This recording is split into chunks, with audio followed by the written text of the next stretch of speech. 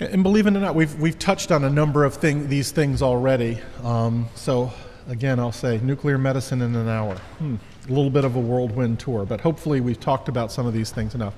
Remember in that first lecture, we talked about the four forces, right? Gravity, the electromagnetic force, the strong force, the thing that kind of holds the uh, fundamental particles together. And the weak force, I said, was important in beta decay. And we're going to talk a little bit about beta decay. It's not going to be necessarily that we understand the weak force, but, but it is what plays a role in that nuclear phenomenon, such as beta decay there.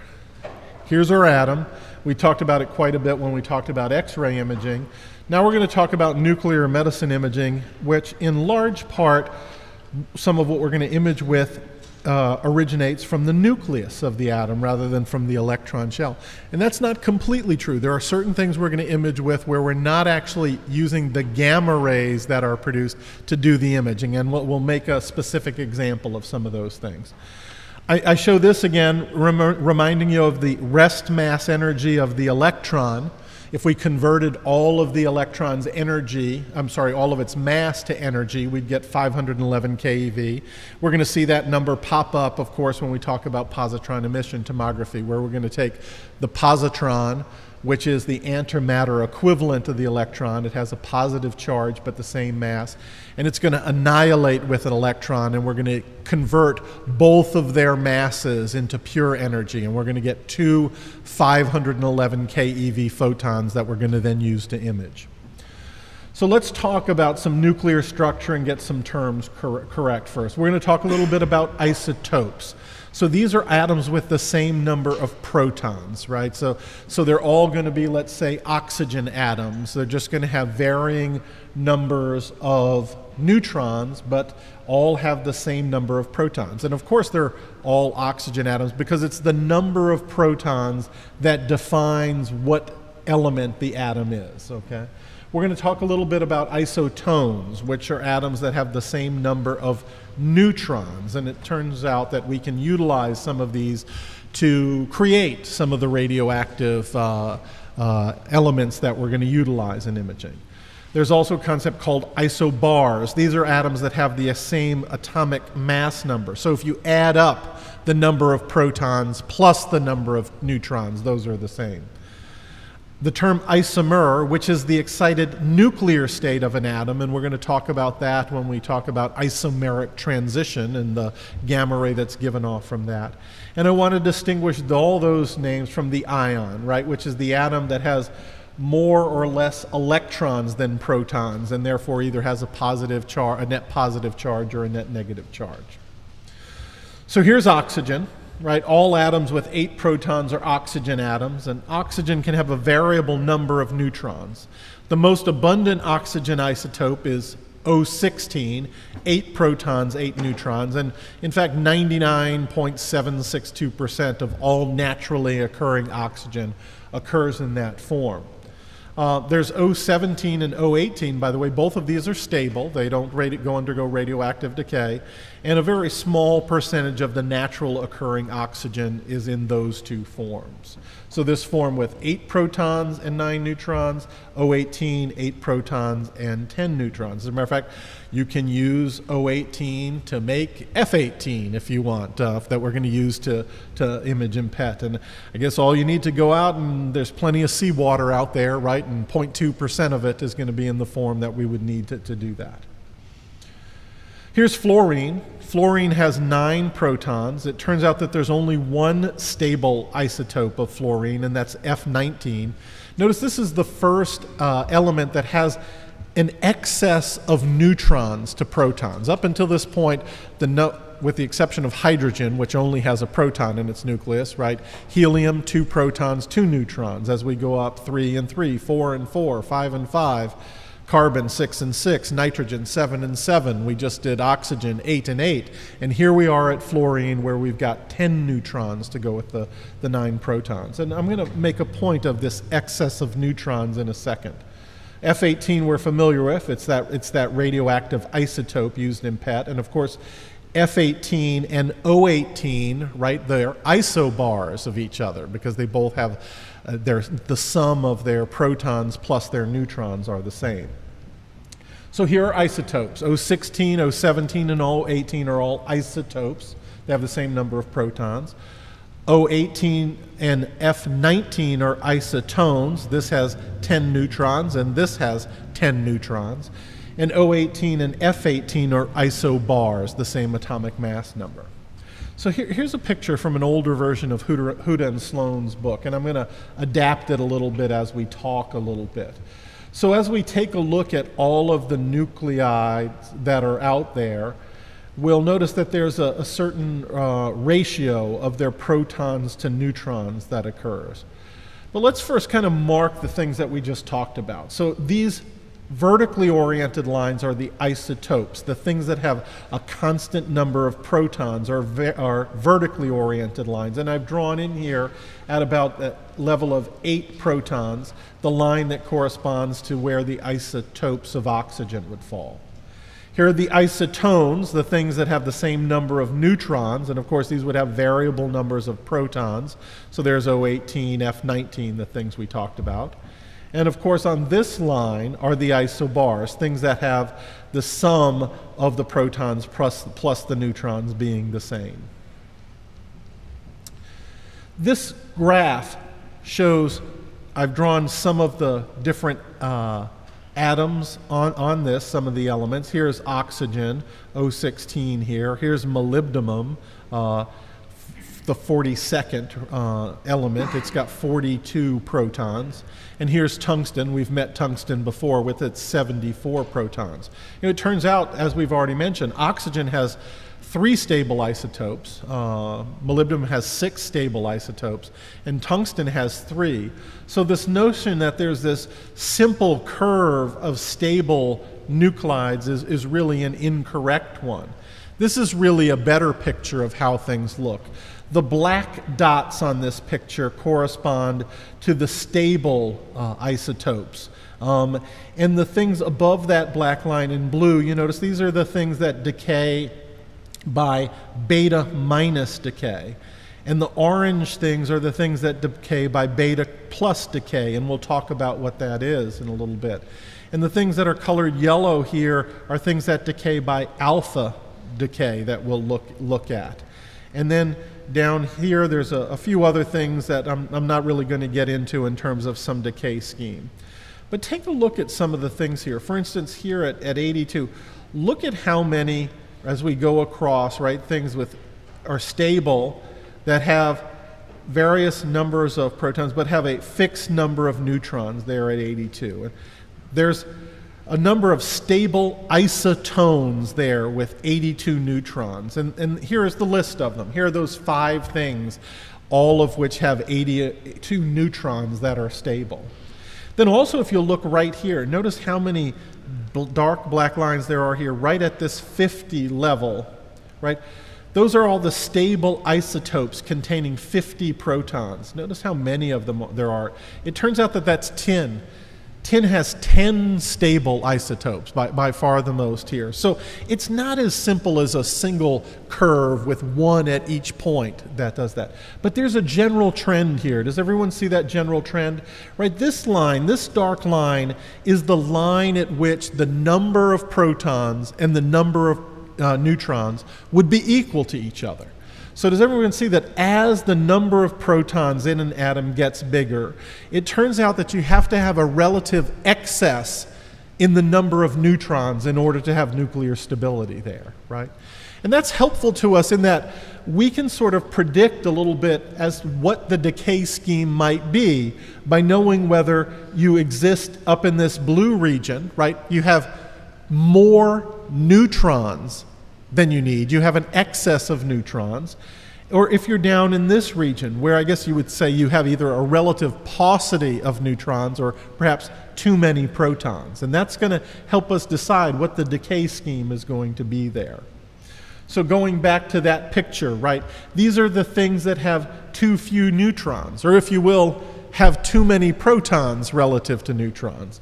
And these are the things that have too many neutrons, or if you will, have too few protons relative to the neutrons there.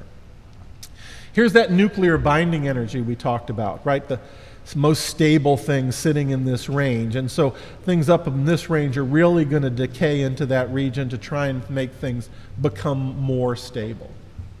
So by way of review, right, nuclei with different numbers of protons or neutrons are called nuclides. Unstable nuclei are called radionuclides, not radionucleotides. We're not studying RNA or DNA. Um, atoms with unstable nuclei are, nuclei are called radioisotopes. So here are some of the hydrogen isotopes, right? Uh, the deuterium, tr tritium, uh, there. So unstable nuclei become stable via radioactive decay.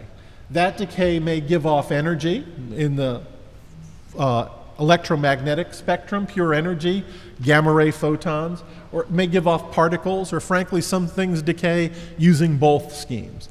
The four processes are isomeric transition, alpha decay, beta decay, and gamma decay, and I'm going to go, go through those uh, here in a second.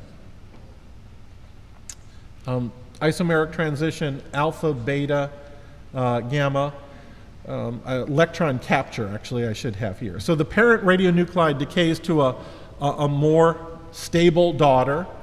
The combination of energy, mass, and charge has to be conserved in that. So, so what is radioactivity? Well, activity is the rate of change of the parent into the daughter.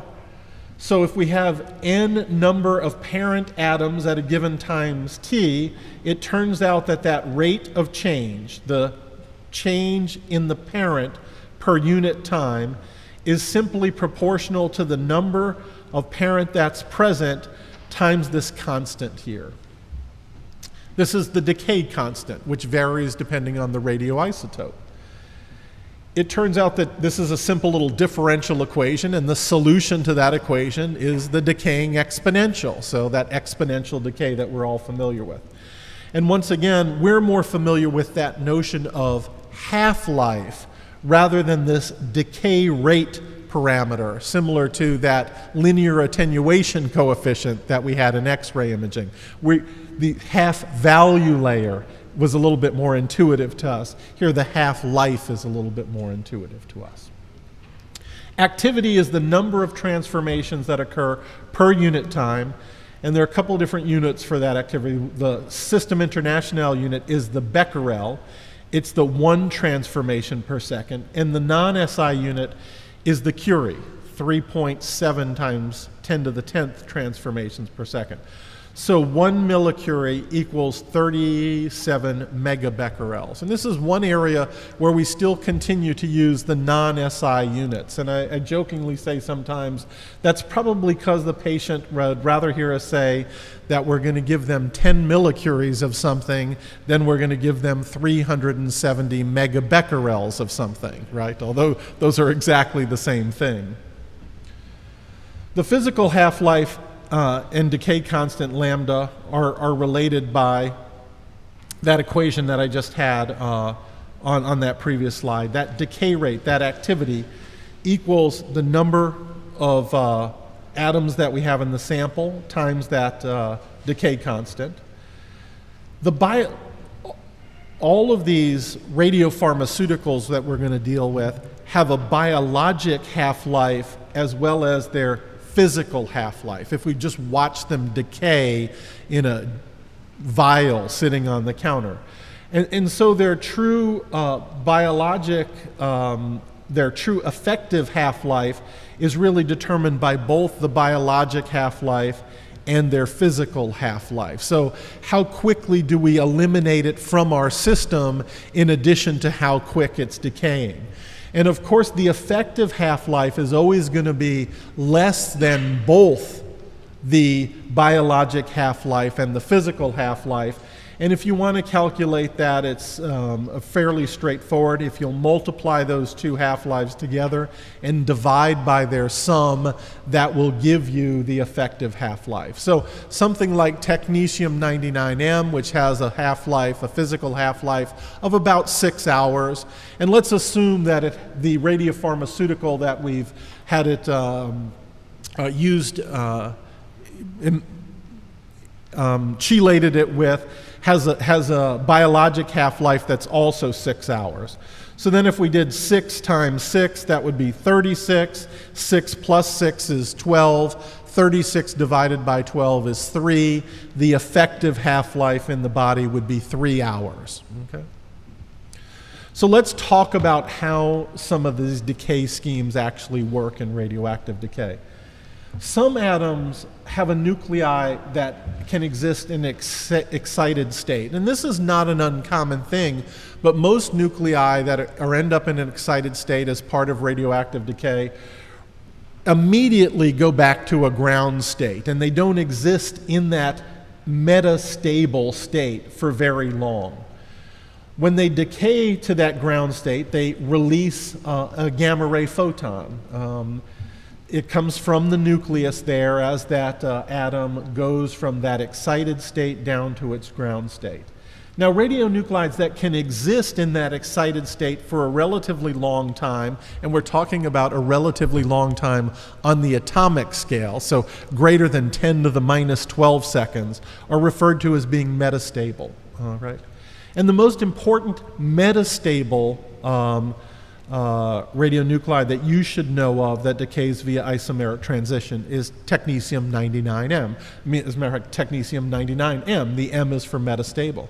And clearly, technetium 99M, right, it's, it's a real outlier there because this exists in that excited state for quite a bit of time, right? We've talked about the fact that its half life is around six hours. Um, what's nice about isomeric transition? Well, we get decay to that stable state and we get this release of this gamma ray. So that gamma ray is given off. Here we see that happening. That's labeled 1 in this picture here. Um, sometimes we don't see that gamma ray produced. Sometimes that excess energy in the nucleus gets transferred to one of these orbital electrons, typically a K shell electron here, and we get what are called these uh, internal conversion electrons, these electrons which are going to head off with kinetic energy that would be equal to what this gamma ray energy would have been minus the binding shell energy of that electron, these internal conversion electrons. Unfortunately, they're going to deposit dose in the patient, right? The, the negative effect of, of, of this here. And once that's gone, of course, the uh, characteristic X ray production can occur, right? Where this L shell electron is going to come in and fill that slot and give rise to that characteristic X ray. Or sometimes this energy difference gets imparted to an outer shell electron and we get the production of those Auger electrons. So things that we've talked about before. But in isomeric transition, the main thing that happens is the rise of this gamma ray here. And as a matter of fact, in technetium 99M, 88% of the decays result in the production of this, this gamma ray here. Only about 12% of the events result in um, internal conversion electron. Of course, we'd love it to be zero, right, because that would be less dose in the patient, but about 12% there. So that's what happens in isomeric uh, transition, that type of decay. Beta minus decay, in beta minus decay, a neutron inside the nucleus gets converted to a proton. So right away, remember, this must be occurring in things that have too many neutrons relative to their protons. Because to become more stable, one of the neutrons in the nucleus is going to get converted to a proton. And it's going to release an energetic electron in doing that, right? The charge of this neutron is neutral. We need to convert it to a proton. That means we need to lose some negative charge there. So it gives release of this energetic electron, which is referred to as a beta, beta minus particle. It also results in the production of an antineutrino, which I'm not going to go into uh, here. Of course, as I said, this occurs in nuclei with too many neutrons, or if you will, too few protons. And one of the most important examples we should know of this is I 131, right? I 131 is a beta minus emitter. It gives off energetic electrons. And we use this for treatment purposes, right? We talked about the fact and we talked about when we talked about the interaction of particulate radiation with matter that these energetic electrons deposit all their dose locally, right, within a, within a few tenths of a millimeter of where they're created. And so it's great for that treatment. Now, right away, some of you should say to me, well, wait, wait a second, hey, we, we use this to image as well. I mean, we don't use it just to treat. I've taken images of patients after we've given them a treatment dose to see where that's been taken up. And absolutely, and that brings me to a point I want to make sure I make is right. I'm showing some prototypic examples here, but remember, some of these things decay through multiple decay schemes. So I 131, it turns out, also gives off gamma rays as part of its um, uh, decay scheme as well. All right, so we know about I-131. So beta plus decay. So in beta plus decay, one of the protons inside the nucleus gives off some of its positive charge and gets converted to a neutron. And it gives off that energetic positron to do that, the beta plus particle, along with a neutrino. And again, I'm not going to get into the neutrino portion. Well, of course, if a proton is going to get converted to a neutron, this must be occurring in nuclei that either, if you want to view it as have too many protons or too few neutrons. Right? Since that positron is the antimatter analog of the electron, it's very quickly going to lose its kinetic energy within a few millimeters of where it's created, and it's going to annihilate with an electron. It's going to come in contact with an electron there, and they're going to annihilate each other, and all of their rest mass is going to be converted into pure energy. And we get the production of two 511 keV coincidence photons. Notice we don't call these gamma rays, right? Because they weren't produced in the nucleus of this atom. They were produced as a result of the positron that was produced in the nucleus of the atom. So 511 keV uh, photons here that are produced. The most important example we should know about this by far is F18, right? These are the positron emitters that we're going to use in our, our PET imaging. Okay, so in PET imaging, we're not imaging the positron, we're imaging the annihilation photons that are created as a result of the positron, positron projection. Hmm. Um, in electron capture,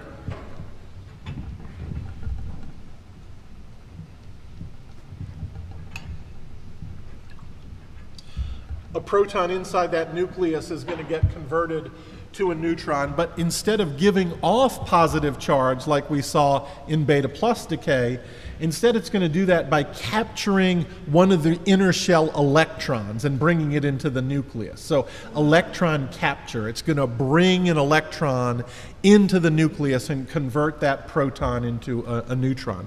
So again, this is something that occurs in nuclei with too many protons, or if you will, too few neutrons.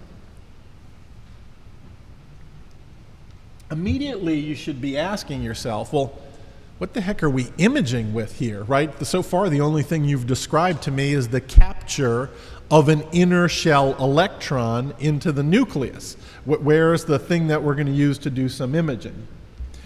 Well, since we get that electron removed from its inner shell, from that K shell, an L shell electron is then going to fall in place to, right from the L shell down to the K shell, and we're going to get the production of characteristic X-rays. We're going to get characteristic X-ray production. So in electron capture, we're actually imaging with X-rays. We're imaging with characteristic X-rays. And most important, well, this is a little stretch. I guess I could have, put gallium 67 up here, right? I could have put thallium 201. We don't do a lot of cardiac thallium imaging. There are a number of others that I could have put, put on the list here that, rather than, the, um, you know, not as prototypic as, as some of the others. But, but this is an example that you should know of, is a better way to put it on, on this slide.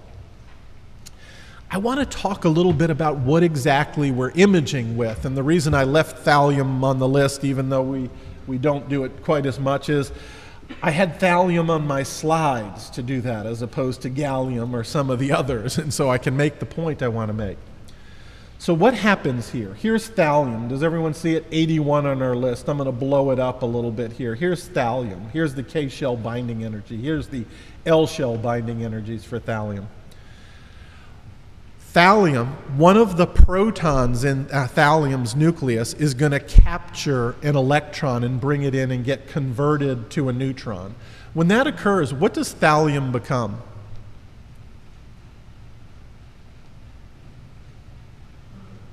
Does everyone see that thallium now has one less proton in its nucleus and it becomes an atom of mercury? Okay, it becomes an atom of mercury.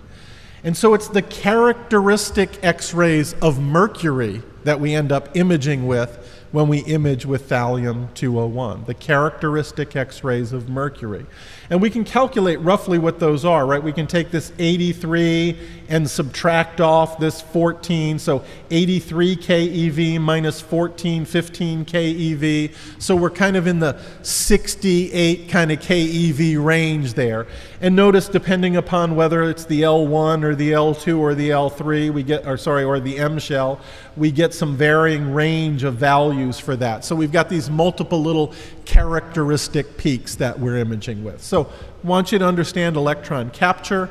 I want you to understand that when we capture an electron into the nucleus, it reduces the, um, the number of protons in the nucleus by one, so it's actually a different atom, and that what we're imaging with is actually the characteristic X rays of, of, that uh, new atom.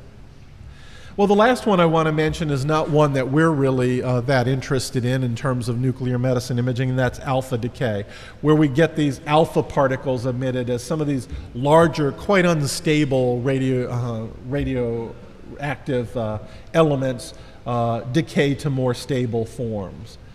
It really only occurs in nuclei with fairly high atomic number. Most important examples we should know of are probably radon, right? As radon decay, we mentioned that they give rise to these alpha particles. Uh, they're very energetic, but fortunately, they can't travel very far due to the fact that they're quite massive and have quite a bit of charge. So there's a little summary of the decay schemes as we've talked about them there. I just put this picture up to remind people once again, right? Alpha particles really can't even travel through a piece of paper. But, but we worry about them because when they're floating around in the air, you can still end up inhaling them and quite, causing quite a bit of damage to the inner linings of the lung there.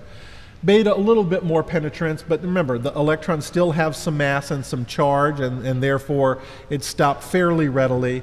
And of course, the X ray or the gamma ray can have quite a bit penetrating power. As a matter of fact, since it has no mass and has no charge, you can certainly make ones that are energetic enough to, to make it through quite a bit of lead. All right, so let's talk a little bit about now that we've talked about decay schemes, talk about radiopharmaceuticals, how we do some of our planar imaging, tomography, a uh, little quality control, um, and some maybe uh, dosimetry towards the end, just a little bit. You may see these decay scheme diagrams, and I show one of these uh, just in its general form once again because I want to remind you that sometimes you'll see that some of these uh, radionuclides will decay via more than one scheme. So maybe by isomeric tra transition scheme um, and uh, by uh, giving off a gamma ray and also by giving rise to a, a beta particle, let's say. How do we produce them? Well, there are a lot of different ways. Some of the radionuclides uh, can be produced uh, via fission. Uh, molybdenum 99, which we then use as a generator for technetium 99 uh, M, uh, is produced that way. So most of the molybdenum we get comes from nuclear power plants. Um, we can produce them via neutron bombardment. And, uh, P32, um, I-125 are produced th this way. These guys all have excess neutrons, and then therefore they tend to undergo uh, beta minus uh, decay. We can also produce them via cyclotron by bombarding atoms with protons, uh, deuterons, uh, alpha particles. Thallium uh, 201, gallium, uh, indium is another nice example. fluorine, F18 can be produced that way. And since these have excess protons, they tend to either decay by positron emission or by electron capture. Okay? And, uh, in, in general, some of the smaller ones tend to undergo a little bit more positron emission, some of the larger ones a bit more electron capture. That's just kind of a general rule of thumb. Radionuclides can also be produced in a generator, and that's how we get most of our technetium 99M. We, we get molybdenum 99, and as it decays, it decays to this. Um, and so uh, the, those technetium uh, 99M generators are a nice way to get that. And I'm going to talk about that in a little bit more detail when I talk about uh, technetium. And these, uh, these products can really end up decaying the parent to produce the daughter through a generator type phenomenon by any one of the ways that we just described. And here's a nice summary of what we just talked about in the production of some of these from a table in, in Bushberg's book on medical imaging. So remember, radiopharmaceuticals. We now have this radioactive atom, but in nuclear medicine, we're really trying to image physiology, right? Not just anatomy that we're doing in some of the x ray imaging we looked at.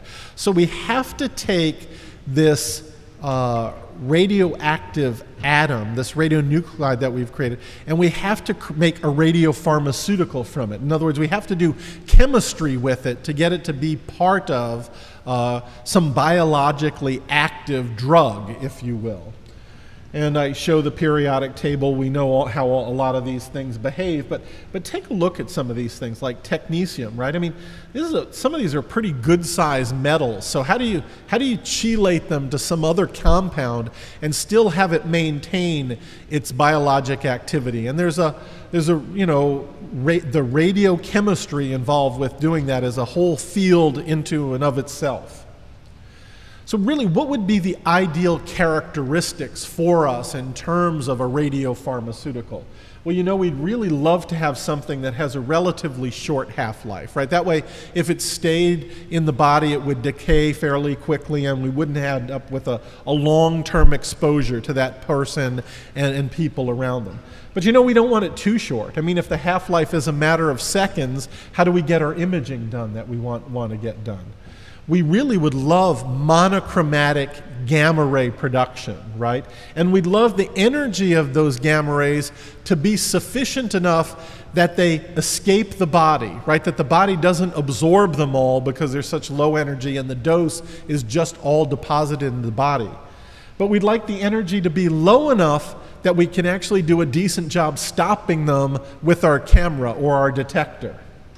We'd love them to have minimal production of particulate radiation, such as those beta particles, or in creation of those internal conversion or Auger electrons. And we'd love for the, to, that radiopharmaceutical to lo- localize itself at that organ of interest, be relatively non toxic, have high radionuclide, radiochemical, and chemical purity. And of course, we'd love it to be inexpensive and readily available. Boy, that's a pipe dream, right? But th- those are the properties we'd love to have. The localization of those radiopharmaceuticals, well, there are many different ones that we have, and, and I just jotted down some of those, right? Sometimes we're looking at compartmental localization, like in a GI bleeding study, where we're just going to label red blood cells and see whether they stay in the bloodstream as opposed to dumping into the, the gastrointestinal tract. Sometimes we're just imaging simple exchange or diffusion, and this is true in radionuclide bone scanning with uh, MDP, where we're really looking at exchange of that uh, with the, the bone, or in ventil- ventilation imaging with labeled gas. Sometimes we're imaging phagocytosis with a, a sulfur colloid, or capillary blockade when we're imaging using uh, labeled microaggregated albumin or, or, cell sequestration, or frankly, metabolism when we're imaging with some of the, the glucose analogs, like in uh, F18 um, FDG PET imaging. You know, technetium 99M as a, a, radionuclide comes really close to some of the properties that we, we talked about.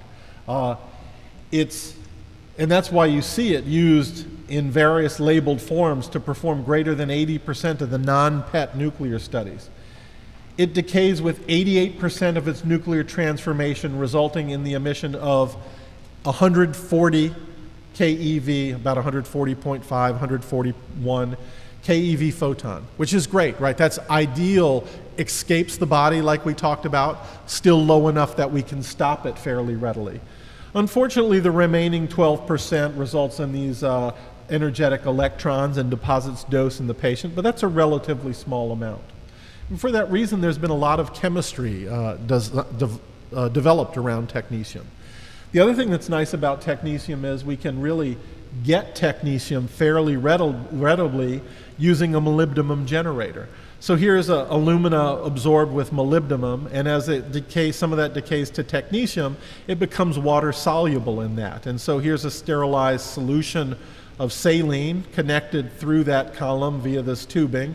And if you popped an evacuated vial onto the little uh, needle, if you will, on the top of this, it would suck that fluid past that column, taking off the soluble technetium, and you'd end up with technetium in your vial. And hopefully it was working well, and you ended up with very minimal amount of breakthrough of molybdenum in your vial there.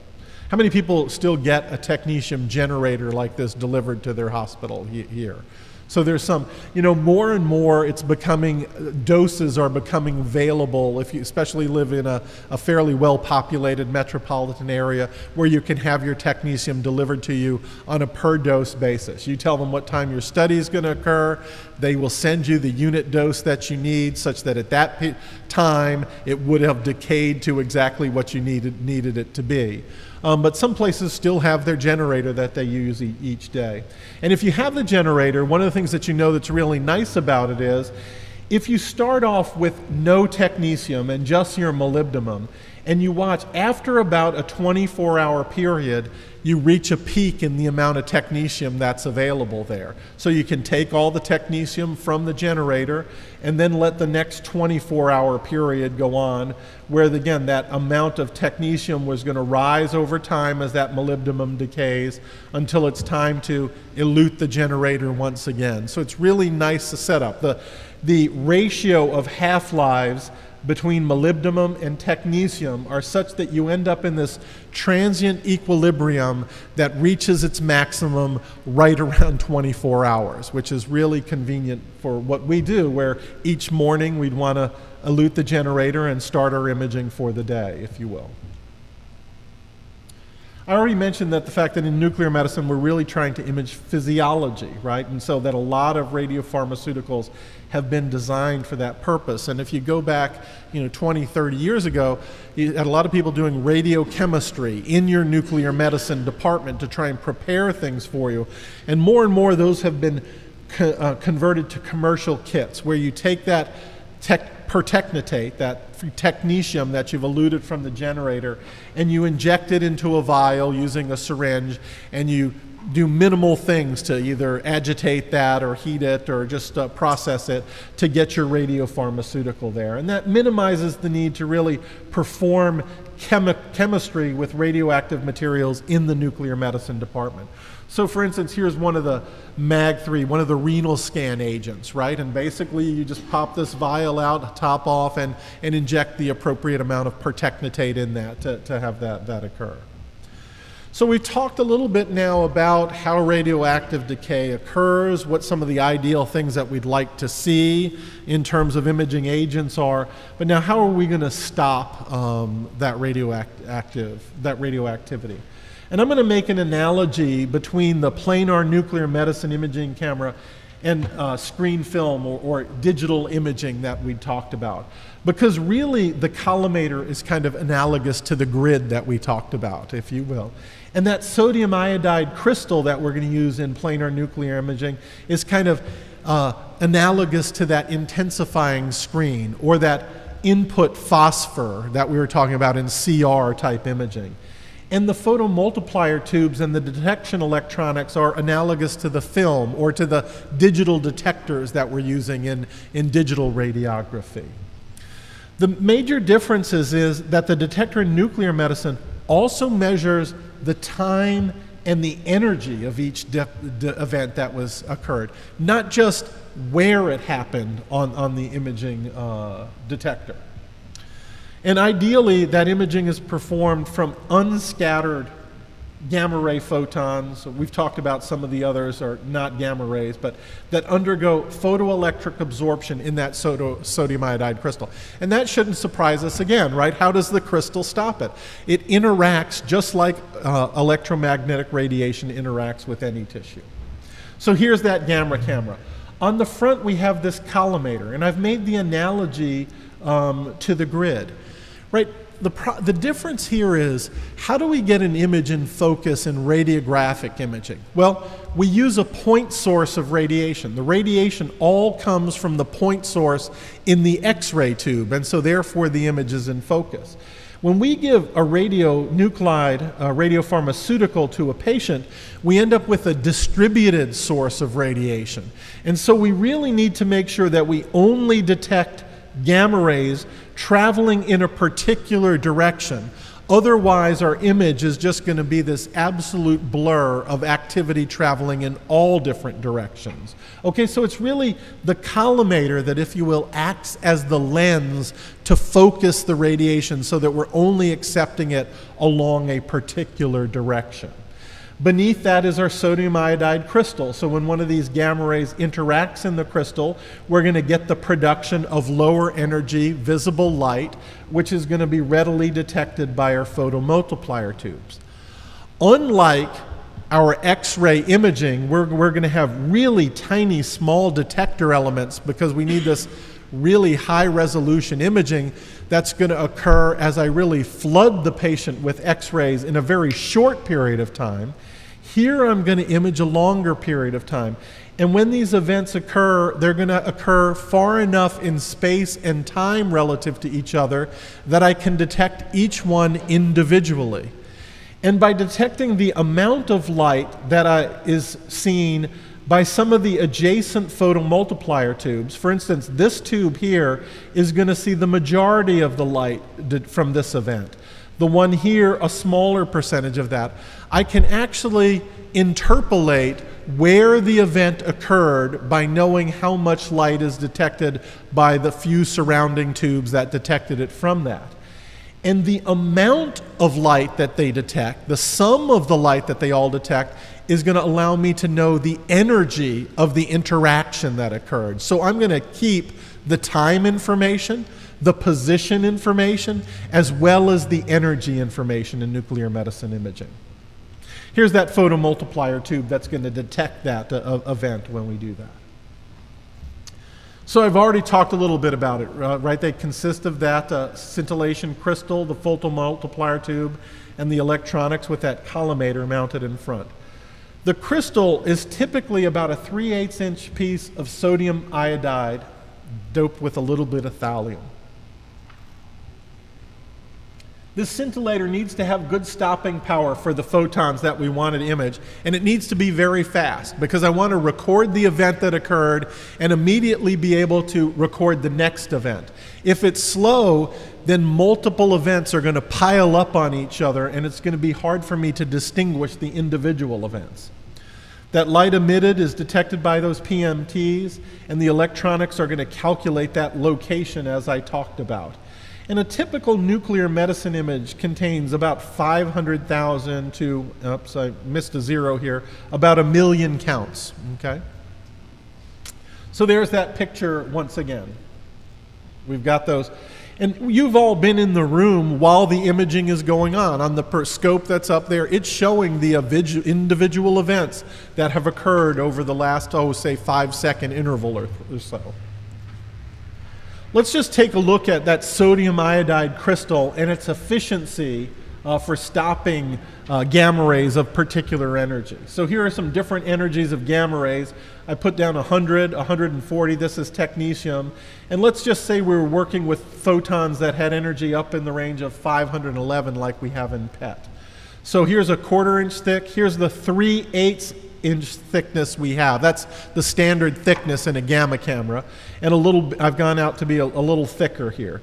So notice that for 140.5 keV, that 3 8 inch thickness stops about 90% of those uh, gamma rays from technetium 99M, which is, which is very nice. Just like we talked about with our screens, right? The thicker we make this crystal, the more room we have for light to diffuse and the worse our resolution properties are going to be.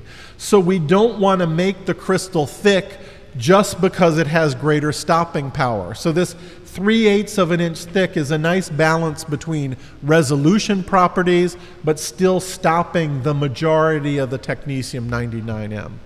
The reason I included 511 keV uh, photons here was I want you to realize right away that this is not the right material for doing positron emission detection, right? We're only going to stop 5% of those, and wait a second, we want to stop the pair, not just one of them, so the chance that we stop the pair is going to be extre- exceedingly small. So we're going to actually use a different type of scintillator for PET imaging. Even going out to a one inch thickness, notice that only goes up to 14%. We do this pulse height analysis. Remember what I was telling you that if you look at the total amount of light that is taken, that's the, the height of the pulse there. It's going to allow you to discern where the energy was that of the, um, of the gamma ray that was detected. And typically we accept so that we, uh, a window so that we accept any um, events that are detected by the detector that fall within a certain window of the peak. Because let's be honest, when a 140 keV gamma ray photon from technetium strikes the crystal, it doesn't always produce exactly the same amount of light. There's going to be some slight variation. So we're going to open up a little window called the photo peak window, and typically it's about 28%. So if we're at 140 keV, we'll look 10% below that, right, which would be down to 126, and 10% above that, which would be up to about 144. Any pulses that occur whose energy is estimated to be in that range, we're going to accept and make our image from. A wider window would accept more photons, so it would decrease our noise. But unfortunately, you know, what are some of these things that have lower energy going to be? Where they're going to be gamma rays that have scattered in the patient. And so we don't really want to accept those. They're just going to degrade the quality of our image. By the way, certain radionuclides like gallium 67 have more than one photo peak. They give off gamma rays of multiple different energies, and we actually set up multiple ranges in which we'll accept them. Not one big wide one that accepts all, but multiple narrow ranges centered right at where the peaks are. So here's what happens if I start to detect uh, gamma rays coming from a patient who's been given technetium 99M. I'll see if I start to count the, the detected events in the crystals, I'll see this big peak here at 140, centered at 140. And there's that window where we're accepting these events. All these events in yellow that are occurring, we're accepting, saying, yes, those are true events that I want to use to make my image. Notice beneath that where some of these scattered events are, you, you still have some little bits of peaks. And I want to mention what some of them are from, just really a couple of things here. Notice there's one right down here just below 80. And does anyone know what that peak is from? What's that peak from? Yeah, that's scatter within the collimator. That happens to correspond to the characteristic X-ray energies of lead, and our collimator is made of lead. So when events interact in the lead collimator and we get some characteristic X-ray production, and we certainly don't want to include those in making our image. It's not shown here because the picture would have to be up at 280 keV, which would be up this way, but usually there's a little tiny peak situated up at 280 keV. And what's that from? Those are coincidence events where a pair of events happen to occur near simultaneously in close to the same position in the crystal. And so they can't be discerned temporally. They can't be discerned in time because they happen too close together in time. So our pulse height analyzer thinks for some reason something with 280 keV just struck the detector completely artifactual there, but that's one of the other things we might see. Moving right along, we'll talk a little bit about those collimators. I've uh, mentioned the analogy to uh, the grid. Um, they're typically made from lead, and they have thousands of holes in them through which the gamma rays can pass. I mentioned that they're mounted in front of that crystal, and they really act like a lens to only accept gamma rays coming from a particular uh, direction. And there's a number of different collimator designs, each providing some trade-offs between resolution, noise, and field of view. So here's a nice parallel hole collimator. It's only going to accept gamma rays that are traveling parallel to each other. Here's a pinhole collimator. It's going to do kind of the same thing that imaging and X ray imaging does, where all of our X rays emit from a single point source, the focal spot on the X ray tube. Here we're just going to insist that all the X rays we obtain travel through, or so the gamma rays we obtain travel through a single pinhole camera to form our image. Here's a converging hole uh, collimator. Notice it has a very similar behavior to the pinhole, the only difference being that the object doesn't get flipped and you can image closer to the object than you can for a pin, pinhole collimator. And here's a diverging hole collimator where we actually get this spreading out. The holes in the collimator actually uh, look at a larger field of view. So what, what kind of things do we image with this? Well, a lot of imaging in nuclear medicine is done with a parallel hole collimator. We used to do some thyroid imaging with the pinhole collimator where you really were looking at a small object and wanted to magnify the field of view. You know, where you have a really, a fairly small camera. So we used to have a portable nuclear medicine camera that we sent up to the uh, intensive care units to do portable VQ scans. So there, the, the camera was relatively small, but we needed to see the large field of view, the chest. And so the collimator on there was a diverging hole collimator, which took that large field of view and really brought it down to the size on the face of the camera there. We talked about the fact that the, the collimator is made out of, of lead and um, oftentimes it's made out of these almost corrugated pieces of lead that, when they're stacked together, form these hexagonal holes, if you will. Of course, the higher energy some of these radionuclides are. Here's I-131, which yes is a beta emitter, but also decays through the production of some high energy gamma rays, and they will frankly pass right through the thin lead septa of some collimators. And so you get this septal artifact where this is passing through the walls of some of these septa, and that star pattern corresponds to the orientation of the walls in that collimator. You'll see that here. Okay? The performance of the collimator is measured in terms of its resolution and efficiency. And resolution we measure just like we did in the other ways. We can have some bar phantoms, we can try to calculate a modulation transfer function, or we can image a point source or a line source and see how much that gets blurred out, that full width, that half maximum that some of you may have heard of. The sensitivity refers to the fraction of gamma rays that pass through the holes of collimator. In most general purpose collimators, less than 1 in 10,000 gamma rays that exit the patient actually make it through the holes of the collimator. So the same sort of inefficiency that we talked about with x-ray imaging, right? Where only 1 in a 1,000 x-rays made it through the side of the patient. There's an awful lot of gamma rays here that we're actually not utilizing to, to make our image increasing the length of the holes in that collimator, right, is going to improve the resolution properties, but unfortunately it's going to make the sensitivity worse, just like when we talked about the grid. Uh, in addition to the collimator types, the parallel hole, the converging hole that I showed you, the pinhole, they also tend to be uh, ba classified based on their resolution, uh, sensitivity, and energy characteristics. And some common types are high sensitivity, high resolution, low energy, medium energy, high energy. And I'm going to talk about some of those in a little bit.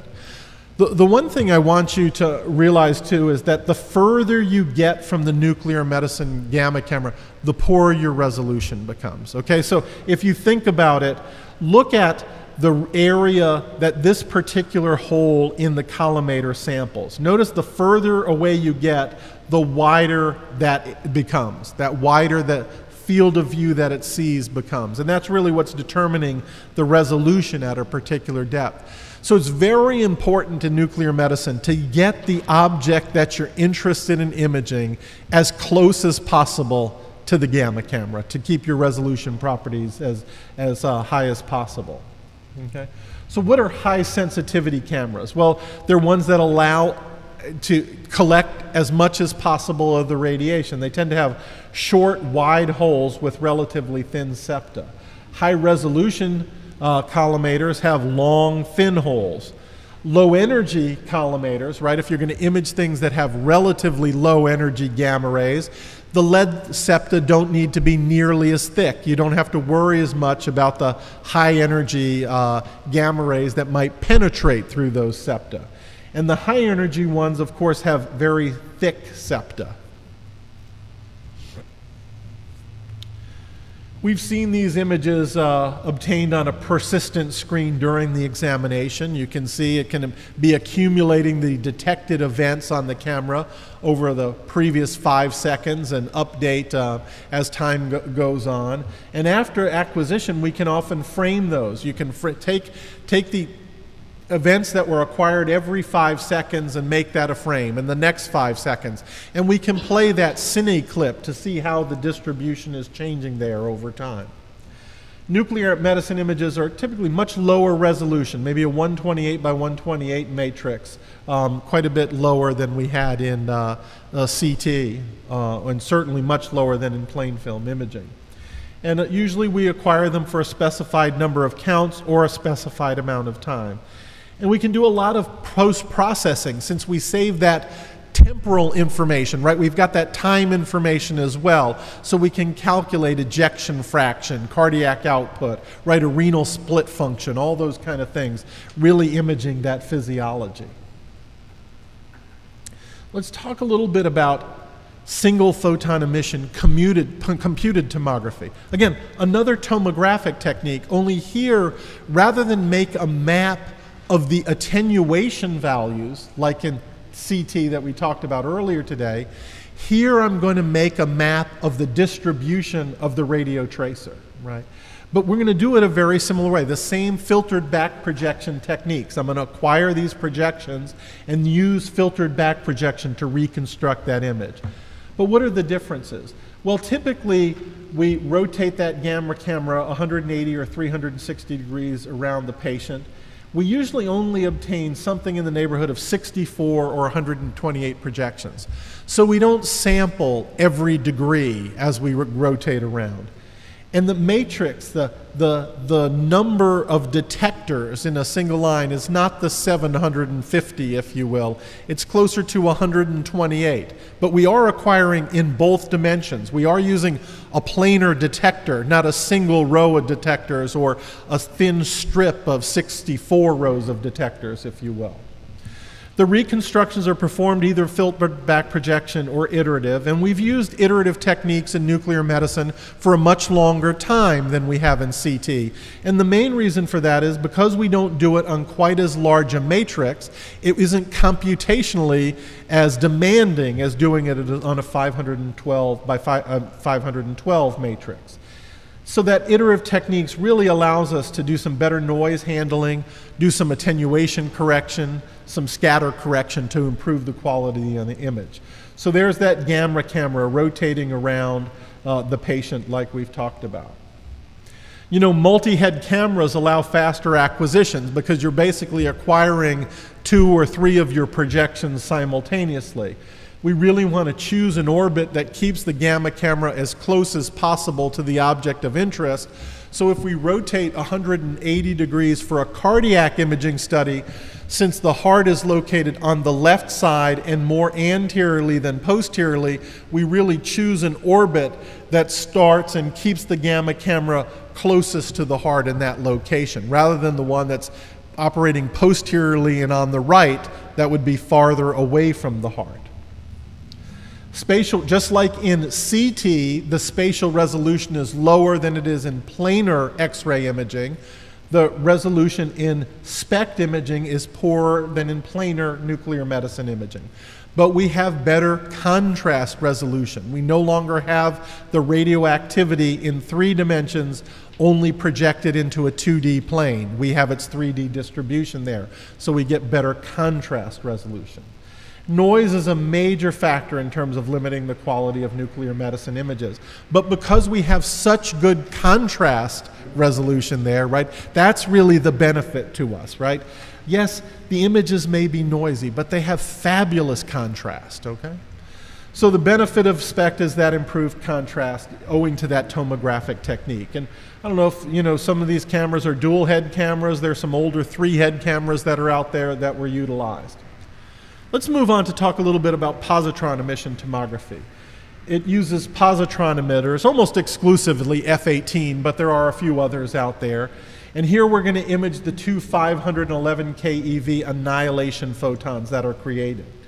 Those annihilation photons basically travel at 180 degrees from each other in a straight line. Not quite true because of the little bit of kinetic energy that positron had, but very, very close to being true. So we really don't need to use any collimation, right? If we can just detect the two events, we know that they were traveling along the same line. So there's no need to use collimation because we've already know the path along which that event was moving. Um, however, collimators can be used in PET, and they were used early on, and basically they were used to minimize the number of events that occurred simultaneously so that you didn't get these false pairs of coincidence by multiple events occurring at near simultaneous near instantaneously in time. As our electronics have gotten faster and better the need to have collimators in PET has decreased. So we're going to use remember we talked about how sodium iodine really doesn't do a great job. So the detector crystals in PET tend to be things that have higher Z bismuth germanium oxide LSO GSO so here's PET, right? Here we have that uh, positron emitted. It ends up finding its way with an electron, and the annihilation event occurs. And if I can detect this event here and this event here near simultaneously in time, I know that the place at which that event must have been em emitted was along that line. Now, if I had timing electronics which were precise enough to tell me the exact time at which this occurred and the exact time at which this occurred, I could actually figure out the exact location on which this line on which they occurred, right? If they were detected at exactly the same instant in time, the event must have occurred at the location so that this distance is equal to this distance, right? And actually, that timing is now coming more and more into play in terms of improving the quality of our PET scanners. But realize how difficult that task is. These are traveling at the speed of light. The speed of light is one meter per nanosecond.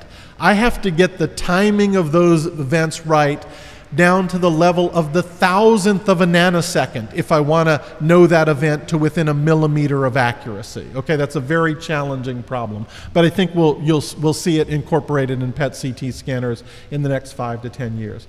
Remember, I mentioned that in the old PET scanners, you would see collimators in there. And they were really in place so that you restricted to only be detecting events that were traveling in this direction and not so much detect events in this direction. In other words, we operated the old PET scanners in 2D mode, where they were detecting, if you will, events occurring in a single slice and not allowing 3D detection of events. that has really kind of changed. Both SPECT CT and PET CT incorporate the tomography of nuclear medicine with the tomography of X ray imaging.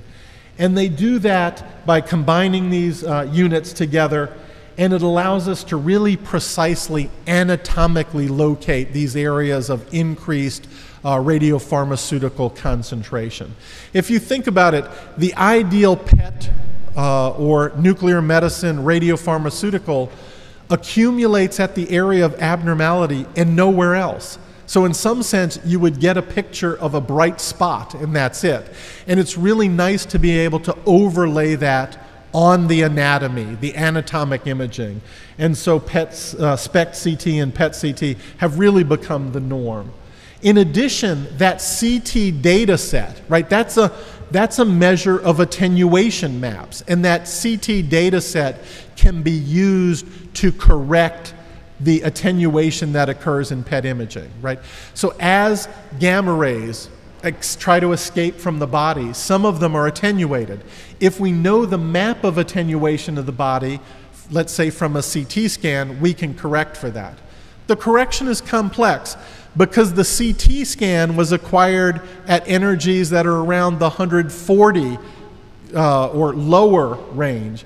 And we need to correct for annihilation photons that may be up in the 511 keV range. So the attenuation map needs to be adjusted for the appropriate energy. We talked about that generator. Uh, the generator, if that generator is damaged, some alumina can break through, some of that molybdenum can break through. That'll interfere with the kit preparation, but more importantly, molybdenum 99 emits 740 and 780 keV photons. And so we really want to check for those injuries to make sure our generator is functioning properly. We want to see little, very little breakthrough through there. We always want to check our radiochemical uh, uh, purity, um, and I won't read these to you. Um, the radionuclide purity, radiochemical purity, the chemical purity, certainly want to make sure our radiopharmaceutical is sterile as well.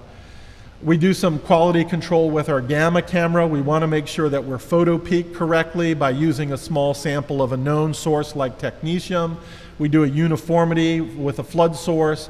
We do that with the collimator in place. That's an intrinsic, I'm sorry, with, without the collimator in place is an intrinsic flood. With it in place, an extrinsic flood. We can check our re resolution and our linear, linearity using a bar phantom like this. Um, we want to do our dose calibrator check. It's an ionization chamber we're going to use to make sure we check our doses and their appropriate amount before we give them to the patient. There's a check for constancy that we do using two very long half-life sources like cobalt 57 and cesium 137. We're going to check annually the accuracy with a calibrated source to see that it measures correctly. We're going to check our linearity by looking at a sample of technetium 99. We know the half life of that, so we know that as we measure it repeatedly over 72 hours, it should measure appropriate values along the course. I mentioned spatial resolution, both the collimator and the detector play a role in here. I'm not going to go into that uh, slide uh, anymore. I mentioned the fact that uh, nuclear medicine images have extremely high contrast. Um, that's why we utilize them. There's also some quite a bit of noise there. We can improve that noise by getting more counts, but realize that means either a longer imaging time or a higher dose to the patient. So we really want to find that appropriate balance between the contrast we need and, and the noise that we will accept. There are many number of artifacts that we'll see in nuclear medicine. Damaged collimators end up, because you typically fold over the septa in the lead, end up looking like cold spots on the image. Patient motion, I think most of you have seen an example where it looks like the patient has two heads because they've changed the direction they were looking halfway through the scan. Uh, metal worn at the patient attenuates the gamma rays escaping them. I've got an example there photomultiplier tube failures look like a cold spot. An off peak image depends on where the peak was set, but if you set it down too low, you just get this very kind of scatter looking image that's barely perceptible outline of the anatomy you're looking at. If you set it too high, you may not get much of anything in the image. Um, and if you've got a cracked crystal, that looks very similar to the damaged collimator. But of course, if you take the, if you do a flood with the collimator in place, and you do a flood with the collimator off, you'll quickly be able to determine which one of those two things are going on. Here's a patient with their cross right on their necklace, right, that metal attenuating there. Here's a nice cracked collimator. You see it as an artifact. You might think the patient has a metallic rod in their femur or something, but you notice when you do the flood there, it uh, still exists, so a cracked collimator. And I'm sorry I rushed through those last few, but I was getting a little bit behind, a little more typical for me. And, um, and that, that concludes all the physics. Thanks, everyone. And I'll hang around a little bit if there are any questions.